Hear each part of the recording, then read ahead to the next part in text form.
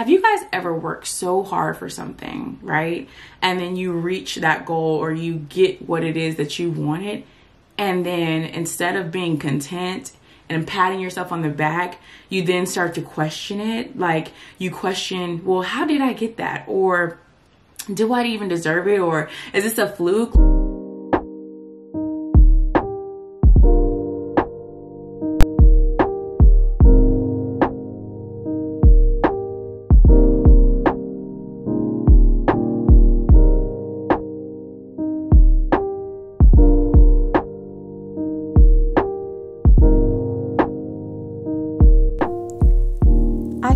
Have imposter syndrome. It doesn't go away. That feeling that you shouldn't take me that seriously. What do I know? I shared that with you because we all have doubts in our abilities about our power and what that power is. Now, you guys, while those could very much be my words because I feel the same way and share my struggles for the same exact reason, that's actually a quote from our former First Lady, Michelle Obama. Yes, even she struggles with imposter syndrome.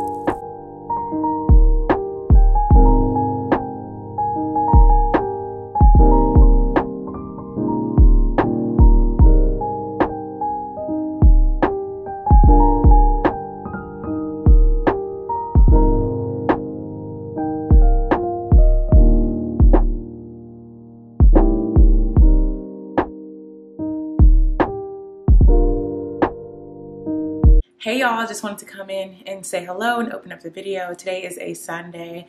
I thought it would be a really nice time to kind of vlog with you guys, connect with you guys. One thing I've been seeing a lot in the comments lately, especially from a lot of you newcomers, is you guys appreciate my honesty and transparency in my journey, um, whether that be law school or my current you know, legal journey as a lawyer. And so I thought it would be cool to kind of connect with you guys in a, you know, more relaxed space and talk to you guys about different aspects of my journey that, you know, either I struggled with or that were good for me or are working for me and just kind of connect with you guys a little bit more in sort of a vlog setting. And so I thought I would spend this chill Sunday with you guys. So I'm about to head to the grocery store. That's why I got my purse with me. You guys already know if you saw my meal planning routine, if you've watched any of my vlogs, I go grocery shopping usually on Saturday or Sunday for my family and, you know, load up on groceries for the week. We do a lot of cooking at home. And so, yeah, I'm about to head to the grocery store. If you guys haven't already, check out my meal planning routine so you guys can see how I'm able to cook dinner most nights, even though I have a busy, demanding career with this lawyer life of mine. Um, so yeah, let's go ahead and head to the grocery store. Let's go. Oh my gosh, it's such a beautiful day. Um, it's like, it's, I think 80 degrees here, which is lovely. Um, I'm a little warm though, but I'd much rather have it this way than the other way. But y'all, look, I broke my nail. I literally got my nails done just two days ago. And a part of me knows that I should just go ahead and get it fixed instead of waiting till like, you know, the work week or something starts. But I just do not feel like going to the nail salon. Like, I love a good pedicure. I even like getting my nails done and stuff like that and all the, you know, all the spa like type stuff. But I don't like being in the nail salon. But the wait and all that stuff, like, it's just a hassle. Um, just especially with like, you know, for me, that's just another thing I have to check off the schedule. And so, like, I'm so mad that my nail broke because like it's like I, I have to get it fixed and it's on my ring finger so I can't just be walking around with the nail like that but I don't know I still don't think I'm gonna do it today I might do it tomorrow um, after work or yeah maybe do it tomorrow after my workout or before my workout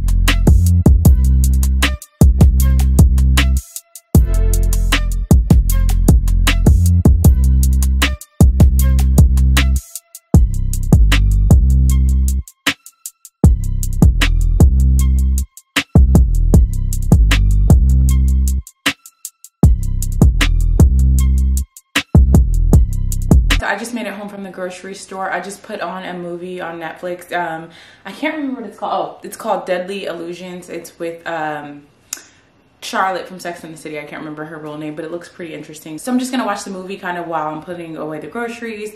I'm gonna tidy up the house a little bit and um, just kind of get ready for tomorrow. It's Sunday, so I gotta prep for the work week. I also plan to do a little wedding planning um, today. So, so I'm kind of just chilling, so I'll probably do that until a little bit later, till it's time to cook dinner. Um, we're gonna do a seafood boil tonight, so that'll be fun. If you guys been watching my channel for a while, you guys know I love seafood boils and I've kind of mastered it or what works for our family. I know everyone loves them. Um, so yeah, it's been a pretty decent day so far. Um, one thing that happened at the grocery store was I like tipped the bagger guy. I don't always, but I have if I have cash, I always tip them just because it's a nice thing to do. And he was so surprised and happy. I'm like, is that not normal? So let me know in the comments below how many of you guys tip your baggers when you go to the grocery store. But yeah, I'm just gonna go ahead and finish putting these groceries away, go ahead and get into the rest of my Sunday. And like I said, I do kind of want to talk to you guys a little bit about, you know, things that I've struggled with. Today's topic, I think I'm going to talk a little bit about imposter syndrome, specifically feeling like I lucked up um, in my career. So yeah, I did want to touch on that a little bit later. Let me just go ahead and get my, you know, house duties out of the way and kind of get into, you know, the early evening and I'll check back in with you guys in a little bit.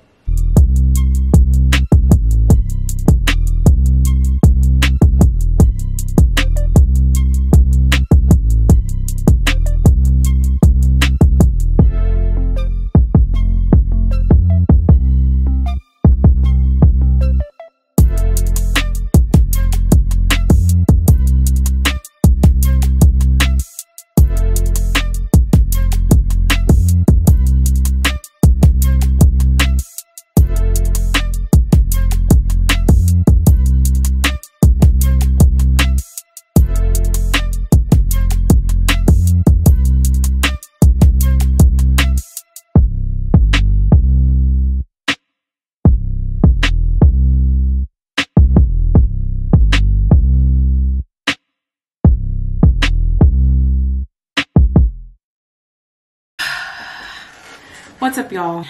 So I finally got some time to come sit down and kind of talk to you guys about kind of the theme of this video. So it's Sunday, so I've just been kind of getting the household ready for the work week and stuff like that. But anyways, I think I mentioned this before, but I've been thinking about just some comments that I've been getting uh, from a lot of you guys about just my transparency and relatability and that is intentional on my part like especially when it comes to like my struggles i'm doing this because some of the things that I struggled with, I feel like if I had had somebody to talk to or who had went through this or at least could watch a YouTube video because obviously I can't talk to each and every one of you but even to be able to relate to to someone I think it would have helped my journey a little bit more. So you know these past few weeks I have been really busy at work and just um, kind of been reflecting on you know where I am the growth the path I want to go on and just all of those things right?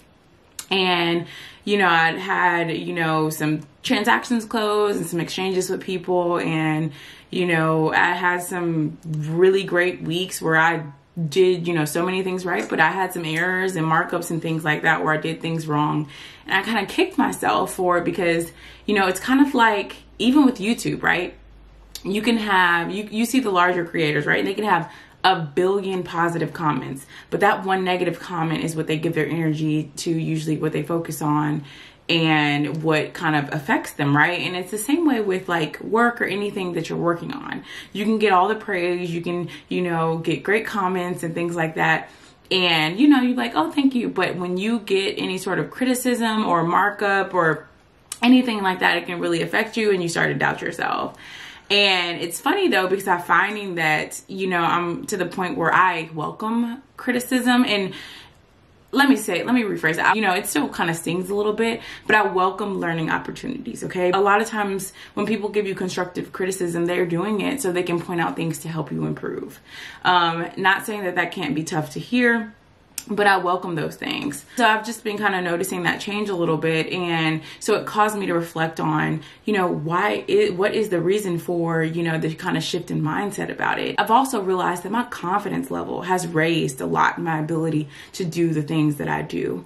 Um, and that's normal, right? It comes with time and experience. Obviously, when you're starting your first year, first day, first month, first week, whatever, doing something, your confidence level is going to be a little bit different from when you've been working towards things for a while. And so I realized that that willingness and eagerness to kind of just refine and continue to improve because you know you're confident with certain things but you also know in order to be even better to be even more confident you have to continue to learn so yeah that's something i was thinking about and then it just also just flashed me back to my days as an intern my days as a young associate my days as an associate not even a year or two ago and just how much different my mindset is and how much just how much different my confidence level is and that's not to say that i don't mess up but my confidence has just gotten a lot better. And I just, you know, I just look back on my whole career, my whole law school experience, and just my experience really outside of work and just the amount of doubt I used to have. Um, have you guys ever worked so hard for something, right? And then you reach that goal or you get what it is that you wanted.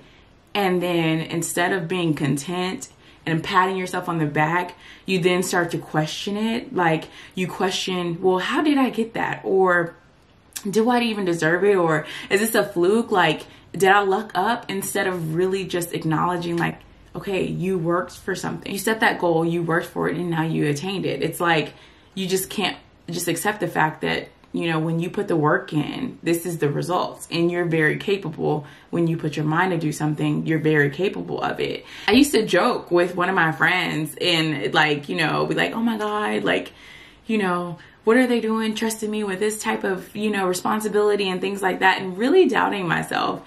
And um, it's called imposter syndrome, which I did a whole video about and I kind of just kind of talked about what it is, how to overcome it, and my own experience with it, which it still comes and goes, it ebbs and flows. It's imposter syndrome, but in just like the most simplest form of saying it, it's like feeling like you lucked up. Like that's the best way I can describe it is feeling like you lucked up. I mean, I remember walking into the law firm, you know, as a summer associate, like, oh my God, like how did I get here? How am I among the ranks of some of the most smartest attorneys, some of the most successful attorneys? How did I get here? And really feeling like I lucked up and not acknowledging like, girl, you put that work in to get here just like they did, you know? Like it's crazy and you can literally pick yourself out a part of the crowd and really feel like you lucked up and that didn't stop when I started at the law firm. Like, you know, it's just the feeling of feeling like you lucked up. And that's not the only aspect I feel that way in my life. I actually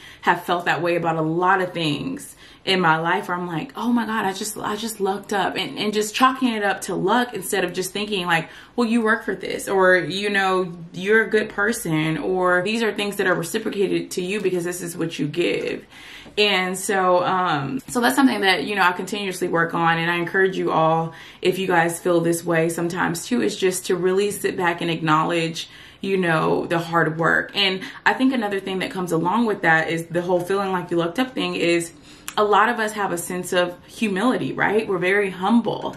Um, and I don't think that's something that we should lose, right? I think humility, I think being humble is a great thing. I think everyone should be humble and I do think that you should be grateful and thankful. However, don't do it to the point to your detriment when you're now doubting yourself because it's just not a good place to be in. Imagine working so hard for something and then you get there and then instead of enjoying that and thriving in it, now you're just questioning yourself and driving yourself crazy. You know, it's it's it's insanity. So yeah, I don't want this to be some long drawn out video, but I did kind of want to drop that food for thought on you guys. And if anybody is struggling with, you know, feeling like you lucked up or imposter syndrome, you guys just take a step back and really think about how you got what you got or how you got to where you got. And I think you'll find that you didn't look up. I think that you'll find that it's the result of your efforts, intentions, and work. And yeah, if you guys kind of want me to touch on certain topics, let me know. I'm thinking about doing more of these kind of little chit chat so we can connect a little bit more, but in vlog style, so it's a little bit more entertaining. So yeah, I hope that hit home for somebody because you guys, imposter syndrome, feeling like you lucked up, that is so freaking real. Baby, you could keep me going, cause you've been everywhere. Let me take up all the love you're showing. I need it more than air. And you know that I've been suffocating. Be the one to help. But my issues are nauseating. I don't wanna bring you down. I just wanna be free from the freak. Feel love for the first time. I just wanna love something about me. See something to open my eyes. Don't wanna be the only one with a house key. Have something I'm proud of. We were living in my dreams. Cause in another world, you come with me and we'd be out of sight, out of mind. Driving windows down with your hand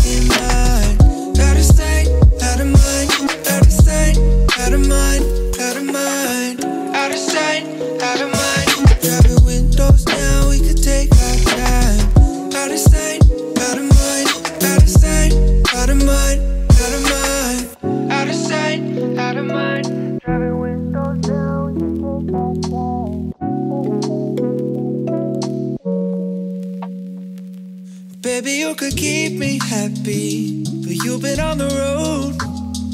Oh, I've never needed love so badly. I'm feeling so alone.